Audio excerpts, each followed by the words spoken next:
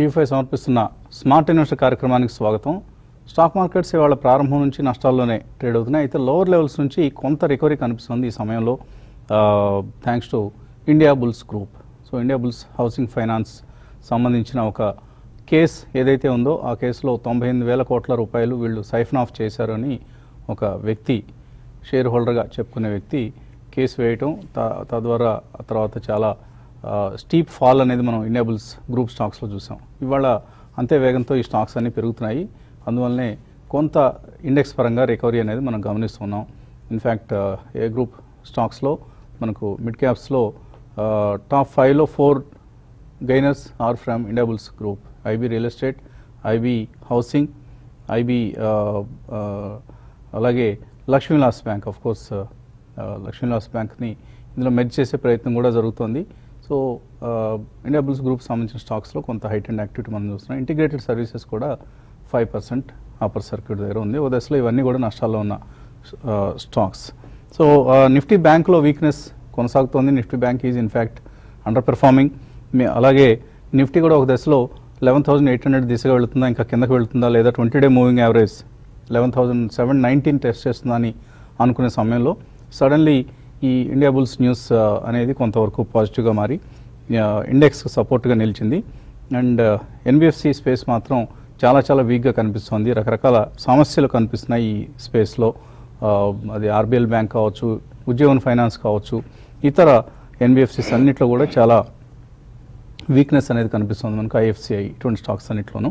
And Srei infra లాంటి stocks అయితే క్రమేపీ పెన్నీ స్టాక్స్గా మారుతూ ఉన్నాయి. సో నిఫ్టీలో మనకు ఇవాళ బ్యాంకింగ్ స్పేస్ చాలా వీక్గా ఉంది. ఎందుకంటే యూబీఎస్ ఈ అంతర్జాతీయ బ్రోకింగ్ సంస్థ ఎస్ బ్యాంక్కి అలాగే ఇండస్ఇండ్ బ్యాంక్కి రెండింటికి కూడా రేటింగ్ డౌన్గ్రేడ్ చేసింది. సో ఈ రేటింగ్ డౌన్ గ్రేడ్ కారణంగా ఎస్ బ్యాంక్ ఒక దశలో లెవెన్ పర్సెంట్ వరకు పతనమైంది. అయితే మధ్యలో కొద్దిగా ఈ ఇండియా బుల్స్ వార్త రావడం కావచ్చు లేదా రాణా కపూర్ కొన్ని ట్వీట్స్ చేశారు.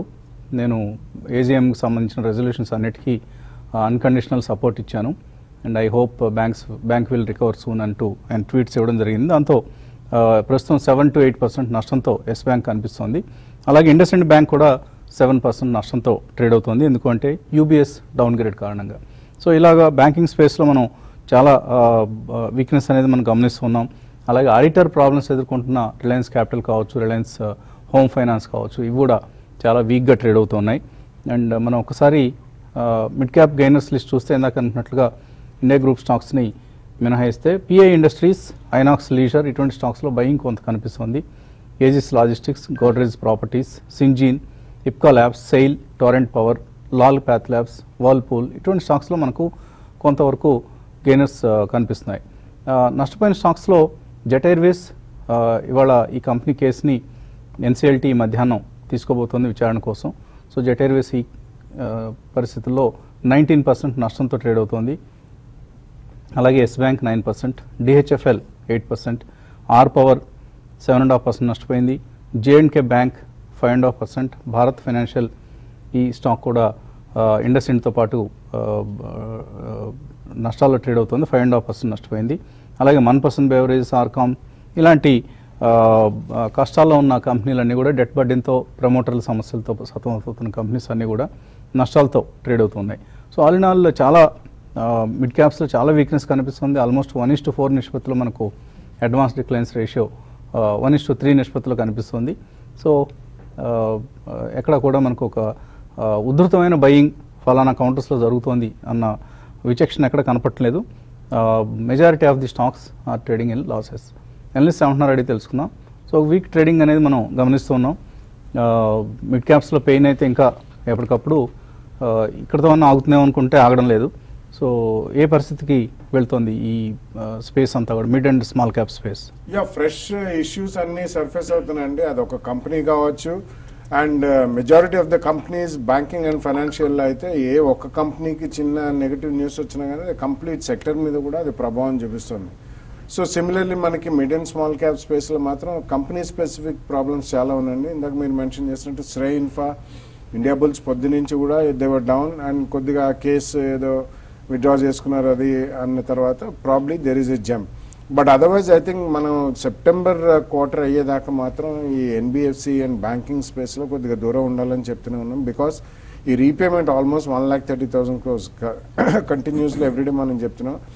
ఎక్కడికి దారితీస్తుంది అనేది మన ఇన్ఫ్రాస్ట్రక్చర్ రంగంలో ఇవాళ we are seeing some cracks అండి. Maybe two to five percent three to five percent cracks మనం చూస్తున్నాం. ఎందుకంటే last one week or ten days అవి కొద్దిగా స్ట్రాంగ్గా ఉన్నాయి కాబట్టి. సో ఇలా మనకి డే ఆఫ్టర్ డే ఒక సెక్టరో లేకపోతే ఒక కంపెనీలో ఏ బ్యాడ్ న్యూస్ వచ్చినా దాని ప్రభావం మొత్తం మార్కెట్ మీద ఉంది. So in that context I think it's better to stay away అండి. Though and buy only front line stocks. Front line స్టాక్స్లో డెఫినెట్లీ డెట్ లేని companies. We have seen lot of brand name creators debt లేని కంపెనీలు ఎఫ్ఎంసీజీలో కావచ్చు లేకపోతే you know companies like maybe L and T in infrastructure or Pidilite in FMCG category ఇటువంటి వాటిలోనే మనం ఏదన్నా ఈ ఆపర్చునిటీ యూటిలైజ్ చేసుకోవచ్చు. అంటే ఇవాళ అంటే ఇవాళ కాదు రాబోయే ఫ్యూ డేస్లో కానీ నెక్స్ట్ వన్ టూ త్రీ మంత్స్లో కానీ but don't go and buy బాగా కరెక్ట్ అయింది స్టాక్ మంచి బ్రాండ్ నేమ్ ఉంది గతంలో ఇది బాగానే ఉండింది. ఇటువంటివి మాత్రం పనికి రావట్లేదు. ఎందుకంటే సడన్లీ ఏం సర్ఫేస్ అవుతుంది ఏ కంపెనీలు అనేది nobody knows so in my opinion wait for the market to settle down అంటే మనకి fifth July is not very far ఎస్ఐపిలో definitely one can continue to put money in mutual funds because always మనకి average cost తగ్గుతుంది కాబట్టి monthly definitely you should continue SIPs but direct market investments పెద్ద amount చేయాలంటే మాత్రం I think definitely one should be extremely cautious and know what your buying so ఇటువంటి forces crude ప్రైసెస్లో కూడా ఒక జంప్ కనిపిస్తుంది. Sixty one point seven morning మనం business బ్రేక్ఫాస్ట్లో మాట్లాడుకున్నప్పుడు ఆల్మోస్ట్ సిక్స్టీ డాలర్స్ దగ్గర ఉంది. So one one point seven dollars పెరిగింది. ఎందుకంటే ఒమన్లో సౌదీ నుంచి బయలుదేరిన ఒక ట్యాంకర్ మీద అటాక్ జరిగింది. అగ్ని ప్రమాదానికి గురైంది అన్న వార్తలతో క్రూడ్ ప్రైసెస్ సర్జ్ కావడం అనేది చూస్తున్నాం. ఆల్మోస్ట్ సిక్స్టీ టూ డాలర్స్ దగ్గరకు వచ్చేసింది మళ్ళీ. So this is also another bad news for Indian markets. So traders ఎటువంటి పొజిషన్స్ తీసుకొచ్చే సమయంలో? మార్కెట్ చూస్తే కనుక ప్రస్తుతానికి షార్ట్ టర్మ్లో ఒక కీలకమైన షార్ట్ టర్మ్లో ట్రెండ్ డిసైడింగ్ లెవెల్స్లో ఉందనుకోవచ్చు. ఎందుకంటే ఈ స్థాయిలో చూస్తే కనుక పదకొండు వేల ఎనిమిది వందల లాస్ట్ వన్ మంత్గా రెండు మేజర్ బాటమ్స్ ఏర్పడింది. ఇప్పుడు మూడో బాటం ఏర్పడుతోంది. జనరల్గా ఒక మూడో బాటం వచ్చినప్పుడు మార్కెట్ ఐదర్ వే డైరెక్షన్ తీసుకునే అవకాశాలు కనిపిస్తోంది. ఇవాళ ఇంట్రాడేలో కొంచెం రికవరీ అవ్వడం కొంచెం పాజిటివ్గా కనిపించినప్పటికీ రావాల్సినంత రికవరీ అయితే అంత స్ట్రాంగ్గా కనిపించలేదు. బహుశా మార్కెట్ ఇవాళ రేపు కూడా కొంచెం కన్సాలేషన్ దశలో వెళ్ళి రేపు కనుక మార్కెట్ క్లోజింగ్ సమయానికి పదకొండు వేల తొమ్మిది వందల పైన కనుక క్లోజ్ అవుతాయి. టెక్నికల్గా ఈ సపోర్ట్ తీసుకున్నట్టు టెక్నికల్గా అప్పుడు షార్ట్ టర్మ్లో ట్రెండ్ రివర్స్ అయినట్టు అనుకోవచ్చు. సో పదకొండు వేల తొమ్మిది వందల పైన క్లోజ్ అవుతాయి అప్పుడు లాంగ్ పొజిషన్స్ని తీసుకోవచ్చు. ముఖ్యంగా ఏ గ్రూప్లో లాస్ట్ వన్ మంత్గా ఏ స్టాక్స్ అయితే బాగా పెర్ఫామ్ చేశాయో ఎన్బిఎఫ్సిస్ కానీ ప్రైవేట్ బ్యాంక్స్ కానీ ఐటీ స్టాక్స్లో లాంగ్ పొజిషన్ తీసుకొని పదకొండు వేల ఎనిమిది వందల కింద స్టాప్ లాస్ పెట్టుకోవాలి. ఒకవేళ కనుక మార్కెట్ ఇవాళ రేపు కనుక పదకొండు వేల ఎనిమిది వందల కీలకమైన మద్దతు లెవెల్ కింద కనుక క్లోజ్ అయిందంటే అప్పుడు డౌన్వర్డ్ ప్యాటర్న్ బ్రేక్అవుట్ వచ్చినట్టు అప్పుడు మార్కెట్ షార్ట్ టర్మ్లో ఫర్దర్గా కరెక్షన్ పదకొండు వేల ఐదు వందల వరకు ఎక్స్పెక్ట్ చేయొచ్చు. సో ఓవరాల్గా మార్కెట్ ఇప్పుడు కరెక్ట్గా ఈ పదకొండు వేల ఎనిమిది వందల కీలకమైన మద్దతు లెవెల్ కనిపిస్తుంది. ఈ లెవెల్లో మనకి ట్వంటీ డేస్ మూవింగ్ యావరేజ్ కూడా ట్రేడ్ అవుతుంది కాబట్టి ఖచ్చితంగా మార్కెట్ ర్యాలీ వెళ్ళాలంటే ఇవాళ రేపట్లో ఇవాళ బౌన్స్ బ్యాక్ అవ్వాలి. అలాగే బ్యాంక్ నిఫ్టీ కూడా చూస్తే కనుక ముప్పై వేల ఆరు వందల దగ్గర కీలకమైన సపోర్ట్ కనిపిస్తుంది. ఈ స్థాయి కూడా మనం ఈ రెండు మూడు వారాలుగానే ఈ లెవెల్ నుంచి రికవరీ రావడం మనం చూస్తున్నాము. ఈసారి మూడో బహుశా ఫైనల్ అటెంప్ట్ అనుకోవచ్చు షార్ట్ టర్మ్లో. ఇక్కడ నుంచి ఖచ్చితంగా రికవరీ కావాలి. సో ఈ లెవెల్లో పదకొండు వేల ఎనిమిది వందల పైన నిలబడుతుందా లేదా అని చూడాలి. నిలబడితే లాంగ్ పొజిషన్ లేదంటే అవాయిడ్ చేయొచ్చు. ఒకేక ఇన్వెస్టర్స్ నుంచి కాల్స్ అండ్ మెయిల్స్ తీస్తున్నాం. చిన్న విరామం తర్వాత.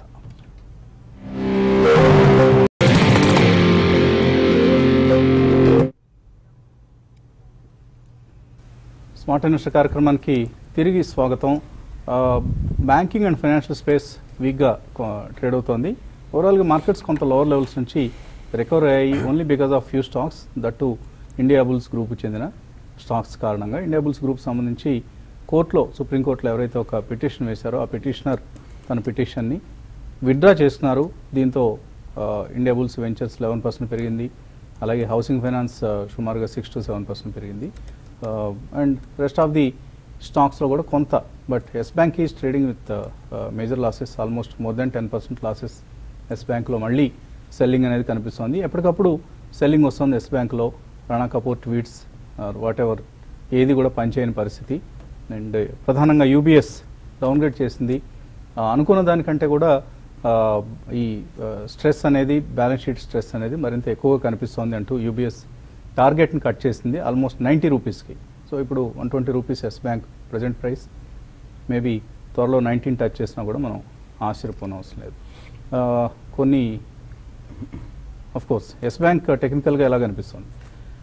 టెక్నికల్గా ఇన్ఫాక్ట్ మనకి తెలిసిందే లాస్ట్ కపుల్ ఆఫ్ మంత్స్గా రెండు వందల ఎనభై రూపాయల నుంచి కంటిన్యూస్గా పడుతూ వస్తుంది. ఈ లాస్ట్ వన్ వీక్గా చూస్తే కనుక నూట నలభై రూపాయల దగ్గర కొంచెం కన్సాలేషన్ అయినట్టు కనిపించింది. కానీ ఈ లెవెల్లో కూడా మళ్ళీ ఇవాళ ఒక స్ట్రాంగ్ డౌన్ సైడ్ బ్రేక్అవుట్ చూడటం రావడంతో ఇమీడియట్ అప్ ట్రెండ్ అయితే అంతగా కనిపించట్లేదు. సో అన్లెస్ ఏదైనా ఒక పాజిటివ్ ట్రిగర్స్ మనకి ఫండమెంటల్గా ఏదైనా కంపెనీ దగ్గర నుంచి వస్తే కానీ ఒక రీబౌండ్ వచ్చే అవకాశాలు కనిపించట్లేదు. సో చాలామంది ఇన్వెస్టర్లు అడుగుతుంటారు కాబట్టి నా ఉద్దేశం అయితే కొంచెం కన్సాలిడేషన్ అయ్యి ఏదైనా కొంచెం పాజిటివ్ సిగ్నల్స్ కొంచెం ఏదైనా ఫండమెంటల్ పాజిటివ్ న్యూస్ ఫ్లో వస్తే తప్ప కానీ లాంగ్ పొజిషన్కి బై పొజిషన్కి ఇమీడియట్గా తీసుకోకుండా ఉంటే మంచిది. ఓకే కొన్ని మెయిల్స్ అందాయి మనకు సో మెయిల్స్లో మహమ్మద్ రియాజ్ అడుగుతున్నారు. లాంగ్ టర్మ్ కోసం Bayer crop sciences and Bharat Rasayan ఈ రెండు ఎలా ఉంటాయి లాంగ్ టర్మ్ కోసం? మంచి స్టాక్స్ అయినా స్టాక్స్ మంచివేనండి. కాకపోతే రెండు కూడా extremely illiquid stocks Bharat Rasayan is few hundred shares కూడా ట్రేడ్ కావండి. అది almost you know six thousand plus నుంచి క్లోజ్ టు సెవెన్ థౌజండ్ నుంచి రియాక్ట్ అయ్యి మళ్ళీ పెరుగుతుంది. దే మ్యానుఫ్యాక్చర్ టెక్నికల్స్ అంటారు. మనం యాక్టివ్ ఫార్మసిటికల్ ఇంగ్రీడియంట్స్ ఎలాగైతే ఫార్మసిటికల్లో వాడతారో they manufacture technicals and agrochemicals అలాగే Bayer crop science though it's a multinational company they are also into agrochemicals అండి it's a strong company in agrochemicals also but ఒకటే మీరు ఆ రెండిట్లో గమనించాల్సింది ఇప్పుడు సీజన్ మొదలైంది కాబట్టి సెకండ్ హాఫ్లో అంటే సెప్టెంబర్ క్వార్టర్ నుంచి కొద్దిగా పెస్టిసైడ్స్ యూసేజ్ అది ఎక్కువ అవుతుందండి. ఫస్ట్ క్వార్టర్లో మనకి seed companies will have a good offtake but ఈ రెండిట్లో మీరు కొనదలుచుకుంటే మాత్రం don't chase the stock price number one. Secondly చాలా స్ప్రెడ్ ఉంటుంది ఇందులో. వెరీ థిన్లీ ట్రేడెడ్ స్టాక్స్ కాబట్టి ఒకవేళ ఏదన్నా మాన్సూన్ బాగాలేదంటే ఒక పడితే కూడా మనకు ఎగ్జిట్ దొరకడం కష్టం. అది వ్యూలో పెట్టుకుని రెండు కంపెనీ పరంగా మంచివే. ప్రైస్ చేసి చేయకుండా కొనండి బట్ వేరే you get profits you book your profits అలాగే సురేష్ మెయిల్ వచ్చారు ఎస్ బ్యాంక్ కాల్ ఆప్షన్ తీసుకోవచ్చా? పదే పదే చెప్తున్నామండి. కొనొద్దు ఎస్ బ్యాంక్ లాంటివి ఇప్పుడు కాదు దాదాపుగా కొన్ని నెలలుగా చెప్తున్నాం ఎస్ బ్యాంక్ కొనొద్దు. ఎస్ బ్యాంకే కాదు ఇలాగ ట్రబుల్డ్ సిచ్యువేషన్ ఉన్న బ్యాంక్స్ కానీ కంపెనీస్ కానీ కొనుక్కోవద్దు. కొంటే నష్టాల పాలవుతారని మనం పదే పదే చెప్తున్నాం. అయినా కూడా మళ్ళీ ఇంకొకసారి కన్ఫర్మేషన్ ఇంకొకసారి కన్ఫర్మేషన్ రెగ్యులర్లీ ఈ మధ్య at least one two months నుంచి all of us been saying please stay away ఎక్కడన్నా న్యూస్ పబ్లిక్ డొమైన్లో దేని గురించి అన్నా వస్తే అది నిజమో కాదా అవన్నీ పక్కన పెట్టండి. Don't think that there is value in such stocks ఇప్పుడు వన్ పర్సెంట్ తీసుకోండి. కంటిన్యూస్లీ ఇప్పుడు ఆల్మోస్ట్ ఫిఫ్టీన్ ట్వంటీ డేస్ నుంచి లోవర్ సర్క్యూట్ ఉందండి. At thirty two rupees also there are no buyers so అది exactly one and half year back అది six hundred plus నుంచి పడుతుంది. So అలా మనం ఎన్నో కేసెస్ చూసామండి. Please we request all the investors అందరూ కూడా అందరి తరఫున మన టీవీ ఫైవ్ తరఫున కూడా డోంట్ చేజ్ ఎనీ స్టాక్ న్యూస్లో పబ్లిక్ డొమైన్లో ఏదైనా కాంట్రవర్సరీ వస్తే let it settle down till then do not think there is value in such stocks no matter price చూసి మీరు ప్రైస్ బాగా తగ్గింది కదా అని కొనే ప్రయత్నం మాత్రం చేయదు ఒకవేళ తెలుగు ఏమన్నా మీకు కొద్దిగా ఇబ్బందిగా ఉంది అర్థం చేసుకోవడం అంటే మనం ఎవరైనా చైనా వాళ్ళని తెప్పించి ఆ చైనీస్ భాషలో కూడా చెప్పించే ప్రయత్నం చేస్తాం. హైదరాబాద్ నుంచి ఆంజనేయులు లైన్లో ఉన్నారు. హలో. ఆ, నా పేరు ఆంజనేయులు అండి. Good afternoon. అడగండి ఆంజనేయులు గారు. సన్ ఫార్మా తీసుకున్నానండి. నేను ఫోర్ ట్వంటీ వన్లో. అది ఎట్లా ఉంటది ఒకసారి? అది ఎగ్జిట్ అవ్వచ్చా? ఏంటి ఇంకేం ఎగ్జిట్ అవుతారు? ఇప్పుడు ఎగ్జిట్ అయినా మీకు గోల్డ్ ఎంత నష్టం వస్తుంది. టెన్ పర్సెంట్ పైన. సో సన్ ఫార్మా ఏంటి పరిస్థితి ఇక్కడైనా ఎగ్జిట్ అయ్యి లాస్ బుక్ చేసుకోవడం మంచిదా? అంటే ఈ డిపెండ్స్ అండి. మీరు ఒకవేళ స్వల్పంగా చిన్న క్వాంటిటీ తీసుకుని ఉంటే మాత్రం ఐ వుడ్ స్టిల్ రిక్వెస్ట్ ఒక టెన్ పర్సెంట్ లాస్లో ఉన్నాయి అరౌండ్ త్రీ ఎయిటీ ఆ జోన్లో ఉంది అది. సో ఫార్మసిటికల్ స్టాక్స్ కూడా ఎంత లేచినా కానీ రెగ్యులేటరీ ఇష్యూస్ వాళ్ళని పీడించుకు తింటున్నాయండి. Secondary I think definitely Sun ఫార్మాకి it has its own issues regulatory and pricing ప్రాబ్లమ్స్తో పాటు కంపెనీ స్వతహాగా వాటికి చాలా ఇష్యూస్ పబ్లిక్ డొమైన్లో వచ్చాయి. సో గత ఇందాక చెప్పినట్టే పబ్లిక్ డొమైన్లో ఏదైనా కాంట్రవర్సీస్ వచ్చినప్పుడు you should avoid the stock అండి సో ఇన్ మై ఒపీనియన్ చిన్న ట్రేడింగ్ బౌన్స్ వచ్చినా I think please come out clarity వచ్చిన తర్వాత యూ కెన్ రీఇన్వెస్ట్ జూడో కూడా ప్రమోటర్లు చాలా క్లీన్ ప్రమోటర్స్ అని ఒక మంచి ఇమేజ్ ఉన్న సమయంలో వాళ్ళు ఒకటొకటిగా వాళ్ళు కూడా మేము తక్కువ వాళ్ళమే కాదు అన్నట్లుగా ఆయన కూడా రకరకాల పాపాలు చేశారు. అవన్నీ బయటికి రావడం ఆ తర్వాత మళ్ళీ స్టాక్ ప్రైస్ కరెక్ట్ కావడం ఇప్పట్లో రికవర్ అయ్యే పరిస్థితి ఏం కనపడలేదు సన్ ఫార్మా కూడా. రాధాకృష్ణ తర్వాత కాలర్. హలో. హలో. అడగండి రాధాకృష్ణ. రాధాకృష్ణ గుంటూరు నుంచి మాట్లాడతామండి నా దగ్గర మా మా దగ్గర అని చెప్పి షేర్స్ ఉన్నాయండి. అది అంతకుముందు లోవర్ బాలగారు రికమెండేషన్ మీద కొన్నాము. అది ఇప్పుడు కాస్ట్ బాగా తగ్గిపోయింది. తగ్గిపోయిన తర్వాత ఇప్పుడు కాస్ట్ ప్రైస్ తగ్గించుకోవాలంటే ఇంకా షేర్ తీసుకోమంటారా? ఎట్లా చేయమంటారు? లాంగ్ టర్మ్ కోసం. అట్లాగే తర్వాత నా దగ్గర బ్యాంక్ ఆఫ్ బరోడా షేర్లు ఉన్నాయి. హలో. బ్యాంక్ ఆఫ్ బరోడా షేర్లు ఉన్నాయి. దాన్ని bank of Baroda bank of Baroda నుంచి మణిపురం ఫైనాన్స్కి ఎలా ట్రాన్స్ఫర్ అయితే బాగానే ఉంటుందా? దాని గురించి చెప్పండి కొద్దిగా. ఓకే అండి. మొత్తానికి గడగడ మాట్లాడారు మధ్యాహ్నం పూట ఈ సమయంలో కూడా. గుడ్. మంచి ఎనర్జెటిక్గా కనిపిస్తున్నారు. నందన్ డెనిమ్ ఏమిటి? యావరేజ్ ఏమైనా చేసుకోవచ్చు? నో డోంట్ యావరేజ్ అండి. మోస్ట్ ఆఫ్ ద స్టాక్స్ అంటే మనకి best of the brand names in textiles కూడా let's Raymonds almost twelve hundred plus నుంచి అదొక ఎయిట్ హండ్రెడ్కి వచ్చింది. ఈవెన్ అరవింద్ స్ప్లిట్ అయింది అనుకోండి అలా యూనో సెంచరీ కానివ్వండి Aditya Birla group none of the textile companies have done well ఎందుకంటే overall global recession plus domestic sales పక్కన పెట్టండి ఎక్స్పోర్ట్స్లో కూడా we are not been able to do so much so ఆ కారణం వలన అడిషనల్గా కొనొచ్చా? Don't buy additionally Nandan denims ఉన్న స్టాక్ కూడా ఎక్కడన్నా మీకు జెమ్స్ వస్తే మాత్రం but they are one of the largest producers of denim but complete రంగానికి ఆదరణ లేదు కాబట్టి ఐ థింక్ ఏదైనా జెమ్స్ వచ్చినప్పుడు you try to come out and don't had more bank of Baroda నుంచి మనపురం ఫైనాన్స్కి షిఫ్ట్ కావడం. సో అది కూడా అంత కరెక్ట్ పద్ధతి గెట్ ఇన్ టు సమ్ ఇంకా అనదర్ ఫండమెంటలీ కొంత స్ట్రాంగర్ బ్యాంక్కి మారండి. నాట్ టు ఎన్బిఎఫ్సి స్పేస్ ఎందుకంటే ఎన్బిఎఫ్సి స్పేస్లో అంటే బ్యాంక్ ఆఫ్ బరోడాలో ఈ మధ్య మర్జర్ కూడా అయింది కాబట్టి give it some time Yeah. Maybe that also be reasonable good ఇందులోంచి ఇప్పుడు మన్నపురం మారడం సో. లేదు నేను పబ్లిక్ సెక్టర్ నుంచి private sector మారాలనుకుంటే get into say Axis bank or ఇంకా మనం ఎప్పుడు మా వేలెత్తి చూపలేని banks like Kotak, HDFC bank. Or Kotak Mahindra bank ఇటువంటి వాటికి షిఫ్ట్ కావడం అనేది మంచి పద్ధతి అవుతుందండి. తర్వాత మెయిల్ చూద్దాం. ఇండ్ టెక్ అనే పేరుతో వచ్చింది ఇది. నియోజన్ కెమికల్స్ అట సీక్వెంట్ సైంటిఫిక్ బాల్ ఫార్మా. ఇవన్నీ for now Neogen recent issue అండి just about two months back Neogen chemicals అని లిస్ట్ అయింది అది. But let it have its own price discovery. Bal pharma అవన్నీ అంత they are not such great stocks to own అండి. అందులో కొద్దిగా speculative and trading angle కూడా ఉంటుంది. They are all very small companies which don't have such high intellectual patent rights or maybe formulations portfolio.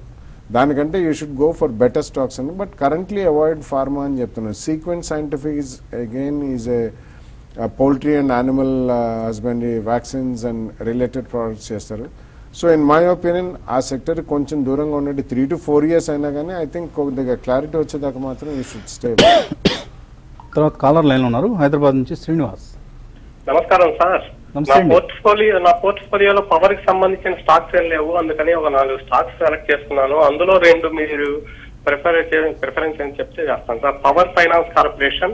Power grid NTPC and REC rural electrification ఈ నాలుగిట్లో ఏవైనా రెండు recommend చేయండి సార్ లాంగ్ టర్మ్ కోసం. ఈ నాలుగు కాకుండా వేరే ఏమైనా మంచివి వన్ ఆర్ టూ బాలాగారు ఏమైనా రికమెండ్ చేస్తారంటే అది కూడా ఓకే. ఈ నాలుగిట్లో ఏ రెండింటిని మీరు రికమెండ్ చేస్తారు?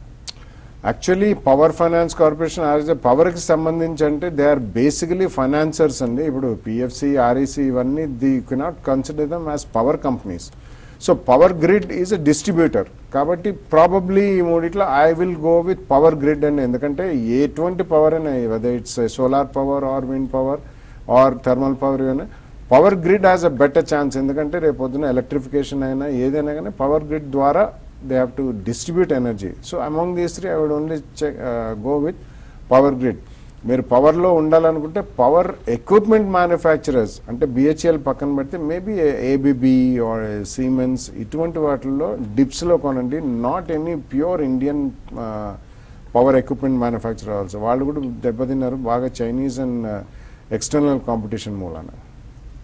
తణుకు నుంచి నాగేశ్వరరావు అడుగుతున్నారు. టీసీఎస్ ఫ్యూచర్ సెల్ చేస్తారట. ట్వంటీ టు సిక్స్టీలో హోల్డ్ చేసి ఎగ్జిట్ కావచ్చు.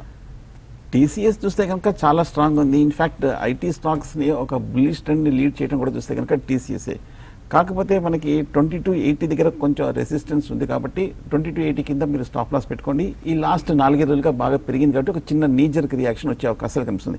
ఏదైనా ఒక తక్కువ రియాక్షన్ వచ్చినా కూడా ఎంబడే మీరు స్వల్ప స్వల్ప ప్రాఫిట్ మీరు క్లోజ్ చేసేయడం మంచిది. ఎందుకంటే అండర్లైనింగ్ ట్రెండ్ చాలా బులిష్గా ఉంది కాబట్టి ప్రస్తుతానికి చిన్న డిప్లో క్లోజ్ చేసేయండి. శ్రీకాంత్ అడుగుతున్నారు ఆయన ఎస్ఆర్ఎఫ్ ఆస్ట్రల్ నేషనల్ పాలి అనుకుంటాను. యుకెన్ ఇండియా ఈ మూడు కొంటారట కొనుక్కోవచ్చా? యుకెన్ ఈజ్ ఎక్స్ట్రీమ్లీ థిన్లీ స్టేడెడ్ స్టాక్ అండి. They basically manufacture all these forklifts and all hydraulic based equipment for heavy machinery and earth moving equipment it's a Bengaluru based company so చాలా thinly traded share కాబట్టి fundamentals పరంగా it's strong stock అందులో doubt లేదు. బాగా పెరిగింది. మంచి return కూడా ఇచ్చిన స్టాక్ అది కొద్దిగా వ్యూలో పెట్టుకుని మీరు ప్రైస్ చేసి చేయకుండా ఎక్కడైనా ఒక ప్రైస్ పెట్టుకుని ఒక టూ త్రీ ప్రైస్ పాయింట్స్లో కొనండి. Astral poly I think is a strong company అండి. కానీ ప్రైస్ పరంగా చాలా స్ట్రాంగ్ పర్ఫార్మెన్స్ మనం చూసాం. పెద్ద రియాక్షన్ లేకుండా. ఎందుకంటే సిపివిసి పైప్లో పైప్స్లో వాళ్ళు దేవత the pioneers in India they still continue to have dominant position అంటే నెంబర్ వన్ పొజిషన్లో ఉన్నారు. బట్ హై ప్రైస్లో ఉంది కాబట్టి దో కొద్దిగా రా మెటీరియల్ పరంగా వాళ్ళకి ఊరట కలిగించిన క్రూడ్ ప్రైస్ రిడక్షన్ అనేది అంత హై ప్రైస్లో వెళ్ళి ఆస్ట్రల్ పాలీ కొనడం అనేది అంత ఉత్తమం కాదు. Wait for a correction ten fifteen percent పడితే అక్కడ కొనండి. నాగశేషు సంగం ఇండియా కరెంట్ ప్రైస్లో కొనుక్కోవచ్చు అని అడుగుతున్నారు. సంఘం ఇండియా కూడా చూస్తే కనుక మిగతా స్టాక్స్ లాగే మిడ్ క్యాప్ స్టాక్స్ లాగే మూడు వందల యాభై రూపాయల హై నుంచి ఏడాది రెండేళ్ళ క్రితం నుంచి కంటిన్యూస్గా పడుతూ వస్తుంది. లాస్ట్ ఒక టూ త్రీ మంత్స్గా మార్కెట్ కొంచెం పెరిగినప్పటికేనూ సంఘం ఇండియా మటుకు బాగా అండర్ పెర్ఫార్మ్ చేసిన స్టాక్ సో ఇటువంటి టెక్నికల్గా బాగా వీక్గా ఉన్న స్టాక్స్ని అవాయిడ్ చేయడం మంచిది సంఘం ఇండియాని. అలాగే సునీత జెట్ ఎయిర్వేస్ గురించి సుబ్బు ఎస్ బ్యాంక్ గురించి ఇంకా చాలామంది ఇవన్నీ ఎస్ బ్యాంక్ లాంటివి యావరేజ్ చేయమని అడుగుతున్నారు. సో అందుకని ఇందాక చెప్పాను కదా రేపటి నుంచి చైనీస్ వాళ్ళని కూడా ఒకరిని తీసుకొచ్చి ఇక్కడ కూర్చోబెట్టి చైనీస్లో చెప్పిద్దాం. ఏం చేయొచ్చు? Yes bank Jet Airways Jain irrigation average చేసుకోవచ్చా అనే అంశం మీద ప్రత్యేకమైన చర్చ పెడదాం. అంతకంటే వీ కాంట్ హెల్ప్ ఇట్ ఎవరో ఆడియో రావడం లేదని అంటున్నారు. మేబీ యూట్యూబ్లో అయ్యి ఉండొచ్చండి యూట్యూబ్లో కొద్దిగా ఇష్యూస్ ఉన్నాయి. So we're trying to sort it out please be bear with us so ఇది ఇవాటి smart investor keep watching TV five